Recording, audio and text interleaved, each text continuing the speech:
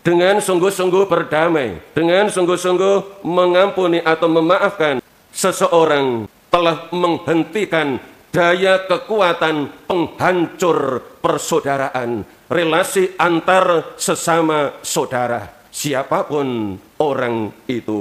Saudara-saudari yang dikasih Tuhan, begitu pentingnya berdamai. Maka Paus Fransiskus dalam seruan apostolik sukacita kasih mengatakan demikian. Jangan membiarkan hari berlalu tanpa berdamai dalam keluarga Anda. Mari saudara-saudari kita renungkan pesan Injil dan pesan Paus Fransiskus ini. Agar dalam keseharian kita, kita hidup dalam damai dan itulah yang menjadi kunci kebahagiaan hidup kita. Saudara-saudari yang terkasih, kita awali perayaan Ekaristi ini dengan lagu pembuka dari Puji Syukur nomor 488. Kepala yang berdarah tertunduk dan sedih penuh dengan sengsara dan luka yang pedih. Meski mahkota duri menghina harkatmu, kau patut ku kagumi,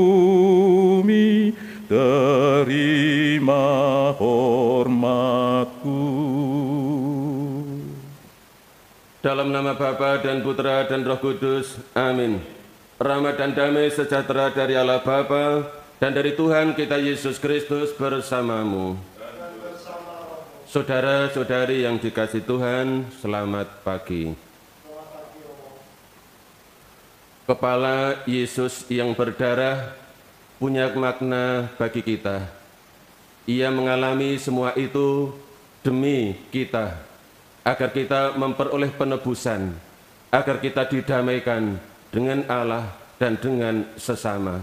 Mari kita persiapkan hati kita, kita mohon kerahiman Allah, agar kita mampu senantiasa hidup dalam damai. Kita nyatakan bersama tobat kita, saya mengaku kepada Allah yang Maha Kuasa dan kepada saudara sekalian bahwa saya telah berdosa dengan pikiran dan perkataan, dengan perbuatan dan kelalaian. Saya berdosa, saya berdosa, saya sungguh berdosa. Oleh sebab itu saya mohon kepada Santa Perawan Maria, kepada para malaikat dan orang kudus, dan kepada saudara sekalian, supaya mendoakan saya pada Allah Tuhan kita. Semoga Allah yang Maha Kuasa mengasihani kita, mengampuni dosa kita, dan mengantar kita ke hidup yang kekal. Marilah berdoa. Allah Bapa yang Maha Setia, Engkau tak pernah mengingat kesalahan kami. Kami mohon bukalah hati kami untuk berdamai dan mengampuni sesama saudara.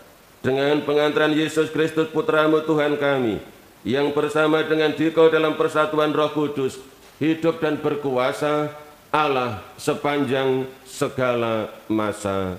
Amin. Pembacaan dari Nubuat Yehezkiel.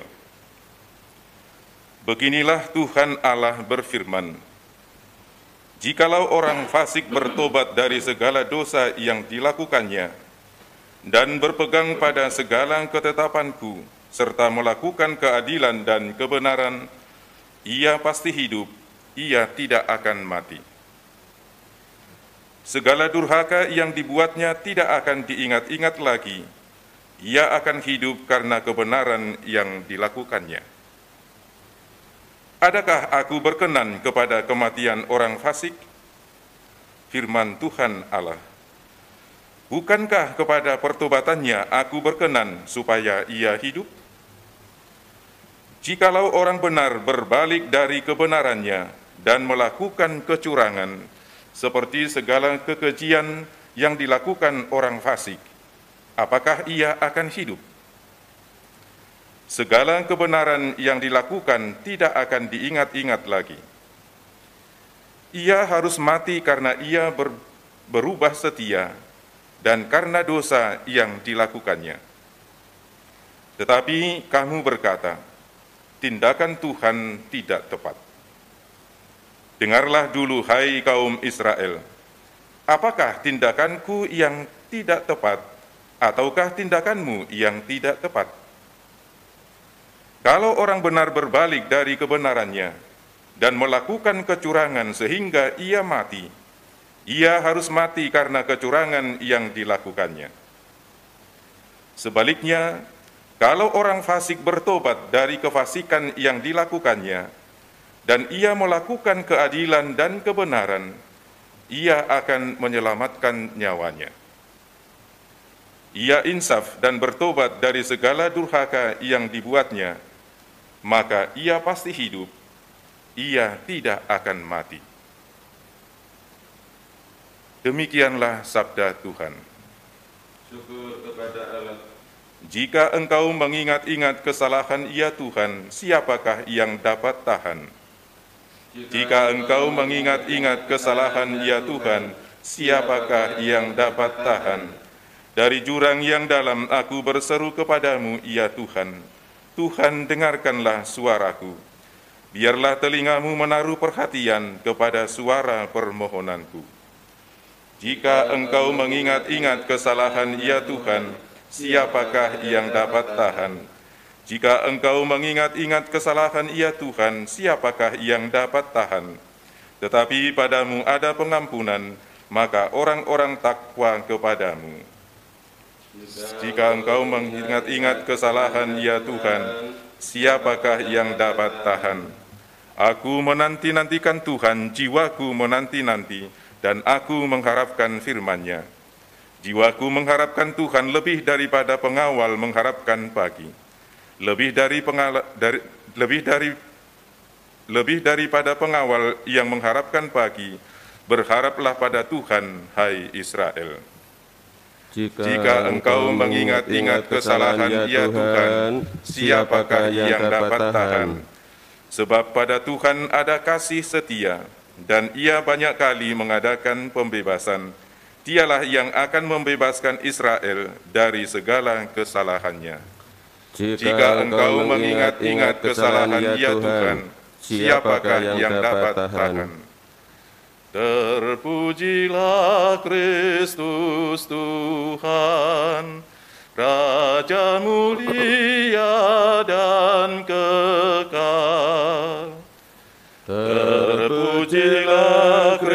Kristus Tuhan, Raja mulia dan kekal.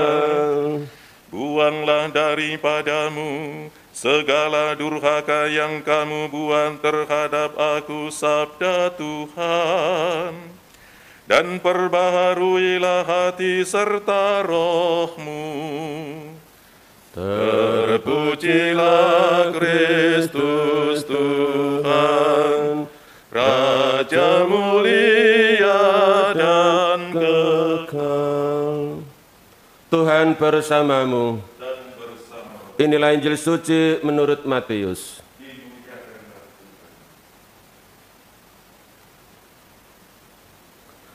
Dalam khotbah di bukit berkatalah Yesus kepada murid-muridnya, Jika hidup keagamaanmu tidak lebih benar daripada hidup keagamaan ahli-ahli Taurat dan orang-orang Farisi, kalian tidak akan masuk ke dalam kerajaan surga. Kalian telah mendengar apa yang difirmankan kepada nenek moyang kita. Jangan membunuh. Siapa yang membunuh harus dihukum. Tetapi aku berkata kepadamu, setiap orang yang marah terhadap saudaranya harus dihukum. Barang siapa berkata kepada saudaranya, kafir, harus dihadapkan ke mahkamah agama. Dan siapa yang berkata, jahil, harus diserahkan ke dalam neraka yang menyala-nyala. Sebab itu, jika engkau mempersembahkan persembahan di atas mesbah dan engkau teringat akan sesuatu yang ada dalam hati saudaramu terhadap engkau, tinggalkanlah persembahan di depan mesbah itu dan pergilah berdamai dahulu dengan saudaramu. Lalu kembali untuk mempersembahkan persembahan itu. Segeralah berdamai dengan lawanmu, selama engkau bersama-sama dengan dia di tengah jalan, supaya lawanmu itu jangan menyerahkan engkau kepada hakim, dan hakim itu menyerahkan engkau kepada pembantunya, dan engkau dilemparkan ke dalam penjara. Aku berkata kepadamu, sesungguhnya engkau tidak akan keluar dari sana sebelum engkau membayar hutangmu sampai lunas. Demikianlah sabda Tuhan.